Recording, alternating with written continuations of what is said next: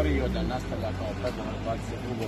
augusta i kao da nije dobio ništa od države. A u istom minutu imamo izjavu premijera koji je rekao što se tiče države da je sve obezbijeđeno Davidoviću. Mi smo zatražili od premijera Dabazovića i od Davidovića da dođu u željezaru i da objasne radnicima ko govori istinu, a ko ne.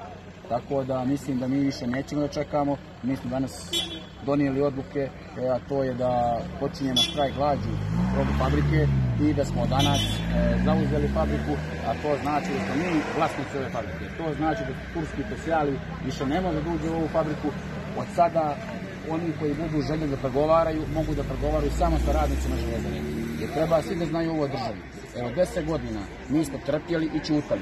Znači, deset godina agonije i sad je Turski specijali odlučio da pošalje kući radnike e, od 1. septembra, a gospodin Davidović i država nijesu bili u stanju da 70 dana se dogovore šta i kako.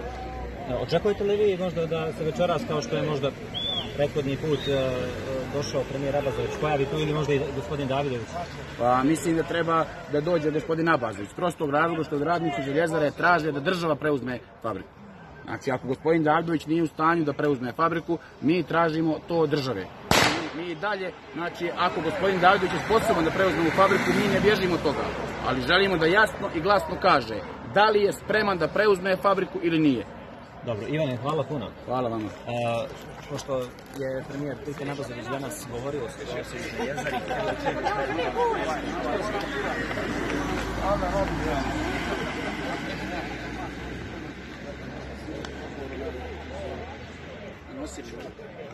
Prva večer.